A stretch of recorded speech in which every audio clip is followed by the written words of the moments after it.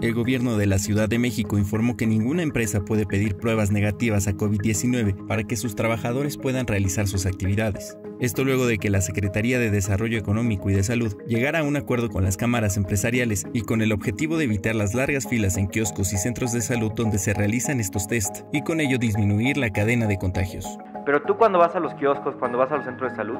ves que cerca de la mitad de las personas que están yendo son personas que van no porque tengan síntomas, no porque tengan sospecha, sino porque alguien les está pidiendo en su trabajo, tal vez inclusive en algunas actividades educativas eh, eh, requerir estas pruebas. Por eso es importante que sepamos que no es necesario ir en este sentido. Ayer se trabajó con todas las cámaras para enfatizar que no necesitamos pruebas en caso de que no tengamos síntomas. Y es que, si bien la variante Omicron ha mostrado ser menos agresiva, ha disparado el número de contagios superando los 30.000 en un solo día, dejando la estadística hasta el momento en 4.125.388 contagios y 300.334 decesos a nivel nacional desde que inició la pandemia en nuestro país.